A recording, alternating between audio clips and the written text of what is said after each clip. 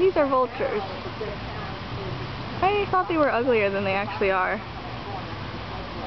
But they're not that ugly. Got big eyes, fluffy feathers. And now to find our eagle. God bless America, our home, sweet home. By himself, looking very re regal and inspiring.